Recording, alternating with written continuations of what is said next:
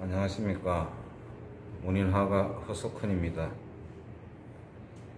어, 댄잎을 묘사하는 데에는 두 가지 방법이 있습니다. 어, 댄잎의 방향이 어, 아래로 향하는 수엽과 그 위쪽으로 올려다보는 악엽이 있습니다. 수엽은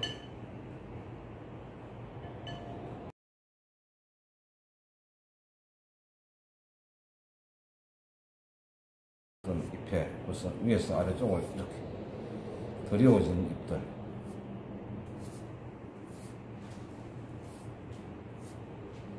자, 이렇게 그려 나가는 것을 위에서 아래쪽 이렇게 칩니다. 비스듬하게 하든지 이렇게 그리는 방식을 수여법이라고 합니다. 수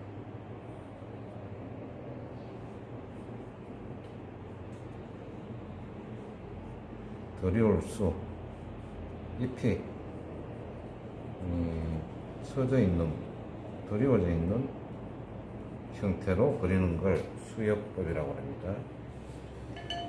그 다음 악력 음, 잎이 아래에서 위로 올려다보는 잎입니다. 자, 잎을 예, 고기의 꼬리 형태 모양을 만들면서 여러 개를 이렇게 붙여가면서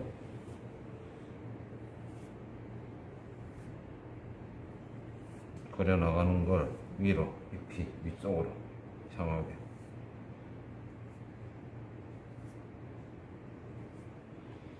자 이렇게 붙여나가는 방법을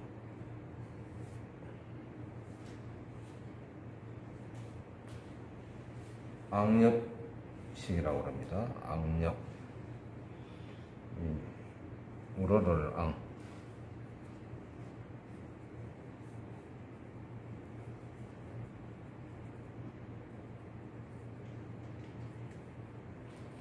자, 이 두 가지 방법이 있습니다. 댄잎을 구성하는 데에는 이 두 가지 방법을 사용하여 어, 그림을 그려나갑니다. 이번 시간에는 어, 댄잎의 방향이 위쪽을 향해서 그려진 악엽에 대해서 어, 공부해 보도록 하겠습니다. 먼저 어, 소금 옅은 목으로 어, 가지를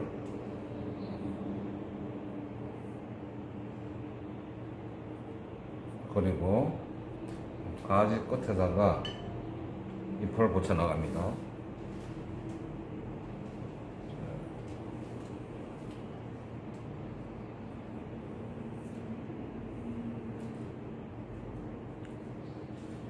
자, 이 필로 고기 꼬리 모양의 잎을 붙여 나가는 어, 형태. 자, 이, 이것은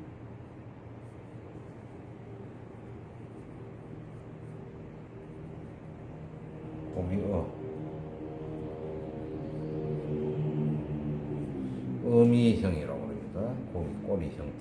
이 형태는 어, 이 왼쪽 오른쪽을 뭐 순서 없이 먼저 그려주면 됩니다. 이거를 먼저 그렸으면은 다음에 예, 이쪽으로 붙일 수도 있고 자, 여기서 그리면은 하나 둘 뭐 이런 식으로 붙여 나올 수도 있고 고기 꼬리 형태로 붙여 나가는 어, 모양을 어미형이라고 합니다. 그 다음에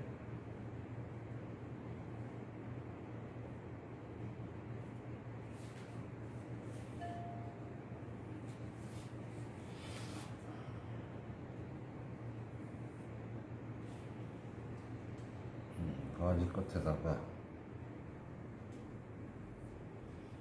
요렇게 음, 제 잎을 붙이는데 금붕어 꼬리 모양처럼 붙여나가는 것을 금어미라고 합니다. 금어미 금붕어는 금어입니다. 금어.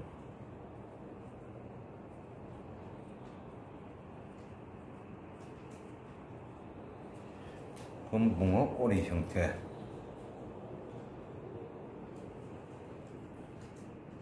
자, 다음에는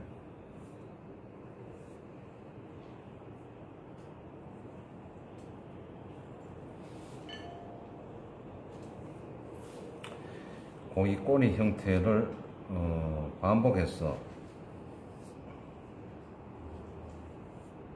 자, 고기 꼬리를 그리고 다시 이 고기 꼬리를 교차를 시켜줍니다. 이렇게.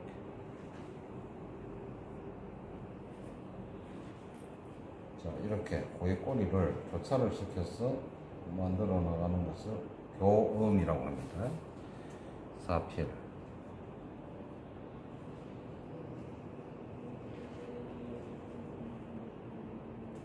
교.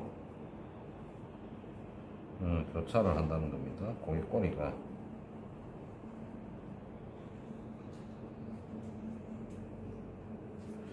고기 꼬리를 교차를 시켜서 어, 교어미를 만들었습니다. 그 이러한 방법으로 어, 고기 꼬리 어미형과 검어미형을 중첩하여 어,